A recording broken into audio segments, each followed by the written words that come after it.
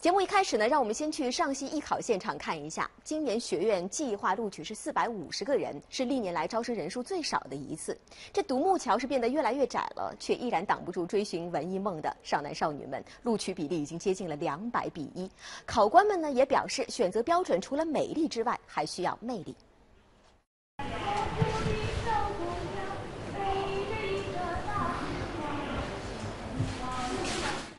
上午八点半，第一场考试正式开始。二十多名同学分成一批进场，平均每个人展示五六分钟的才艺。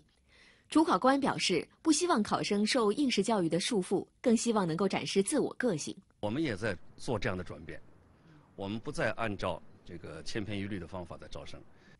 记者注意到，来参加艺考的学生中的确有不少俊男靓女。不过，艺考除了外在美，更注重内在的个人魅力。我们不拒绝漂亮。如果非常漂亮，我觉得也挺好。但是，演员更重要的是个性。今年上戏计划招生人数又比去年缩减了百分之十，是近年来招生人数最少的一次。但即便独木桥变得更窄，大批考生仍然是半站南北参加考试，就为了一圆心中的舞台梦。就是我们山东有一个黄渤，因为我很喜欢他，所以就是挺喜欢表演的。